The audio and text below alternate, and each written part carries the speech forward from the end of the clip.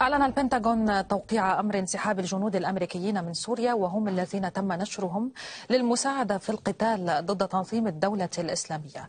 يأتي هذا بعد إعلان الرئيسين الأمريكي دونالد ترامب والتركي رجب طيب أردوغان أنهما اتفقا في اتصال هاتفي على تجنب أي فراغ في السلطة بالتزامن مع انسحاب القوات الأمريكية من سوريا. إلى ذلك أعلن ترامب أن باتريك شناهان مساعد جيم جيمس ماتيس المعترض على الاستراتيجية الجديدة للإدارة الأمريكية سيخلفه وزيرا للدفاع بالوكالة بدءا من مطلع العام المقبل وذلك في موعد أقرب من المتوقع.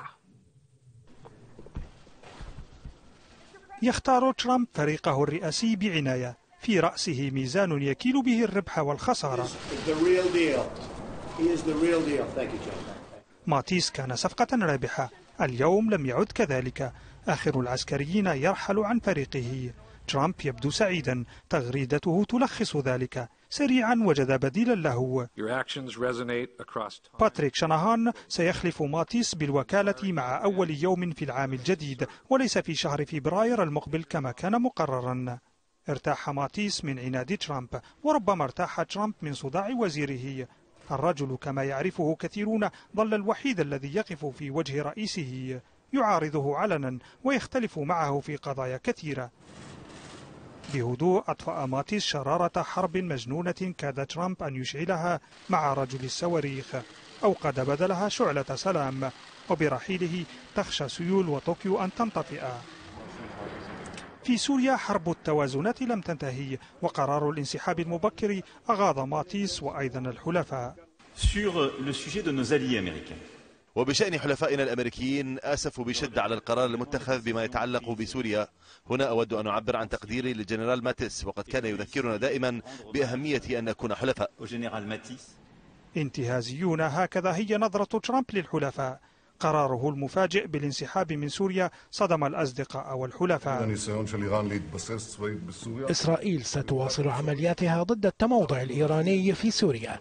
وستوسع نطاق عملياتها إذا اقتضت الحاجة.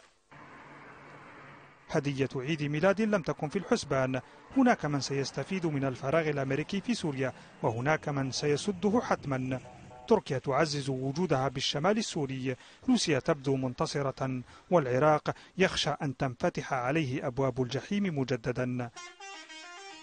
الحرب في سوريا وغيرها لعبة. يكتفي ترامب بالتفرج عليها من بعيد. ربما سيتفرغ لحروب لا تقل أهمية.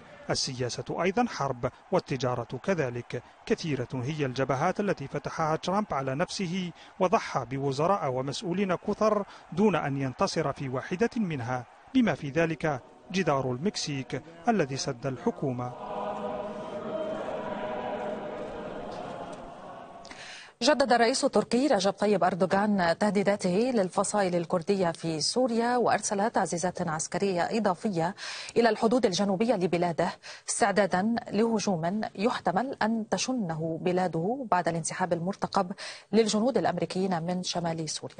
طبعا وبحسب وكالة أنباء الأناضول فإن قافلة عسكرية تركية تضم وحدات مختلفة من القوات المسلحة تم نشرها في منطقة البيل الحدودية في محافظة كيلس وأرسلت تركيا تعزيزات عسكرية أيضا إلى مدينة أقجا قلعة وقضاء جيلان بنار في محافظة شانلي أورفا.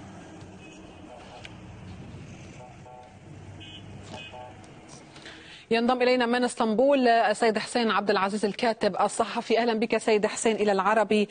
اليوم اذا البنتاغون يوقع بشكل رسمي على أمر انسحاب الجنود الأمريكيين بعد أن كان هذا الموضوع أخذ في أخذ ورد حوله وحول مدى إمكانية فعلا تطبيقه الآن. السؤال الذي يطرح نفسه الآن الحديث عن تجنب أي فراغ للسلطة. تحدث عنه ترامب. برأيك من الذي سيملأ هذا الفراغ؟ هل تركيا التي تجلب الآن تعزيزات عسكرية أم النظام الذي أيضا يقوم بتعزيزات عسكرية مع إيران وروسيا؟ مساء الخير بداية. الحقيقة يعني الوضع معقد في الشمال السوري. إلى الآن من الصعب يعني وضع مخطط مسبق والتكهن بما ستؤول إليه الأمور.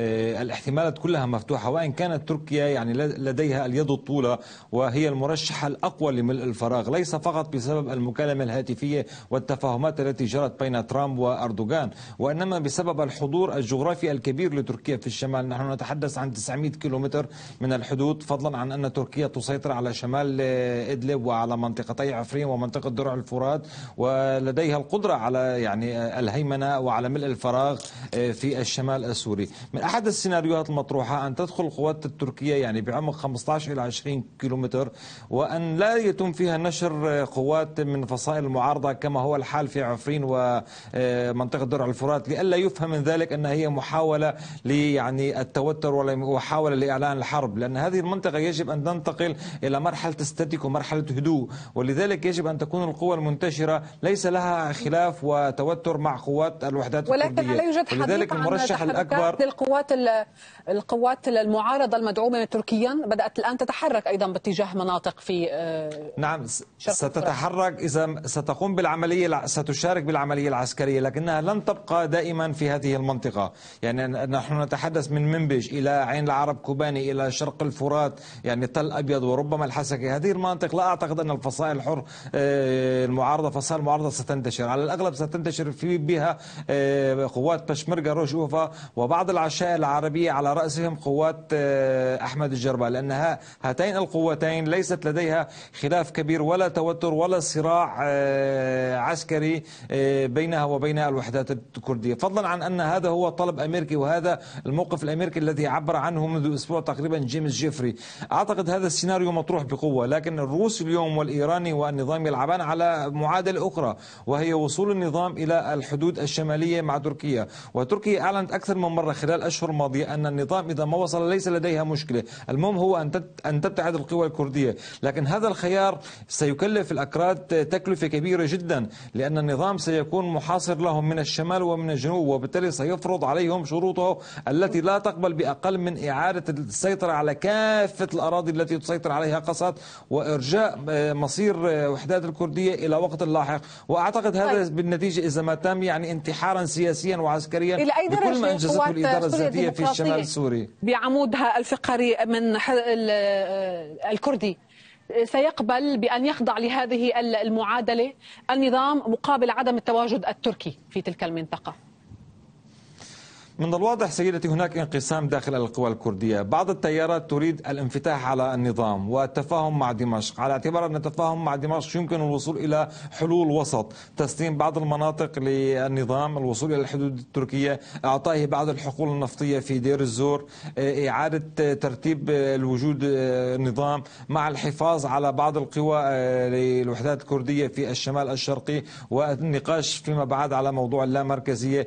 هذا الرأي. لكن هناك تيار التيار يعتقد أن هذا الاتجاه سيؤدي إلى خسارة كبيرة نعم. وبالتالي يجب على الأمريكي الآن أن يعيد ترتيب المنطقة. صحيح أن الولايات المتحدة قررت انسحابا عسكريا لكنها هي لم تنسحب إلى الآن من المشهد العسكري يعني ما تزال هي تمسك بالأوراق هي ما تزال جزء من التحالف الدولي ما تزال هي ضابط الإيقاع. وأعتقد أن واشنطن تريد يعني مع تركيا إيجاد ومع روسيا أيضا إيجاد حل وسط يقبل به الفرقاء جميعا. هذا الحل أعتقد هو سيكون لتركيا الدور الأكبر فيه. أشكرك من إسطنبول حسين عبد العزيز الكاتب الصحفي.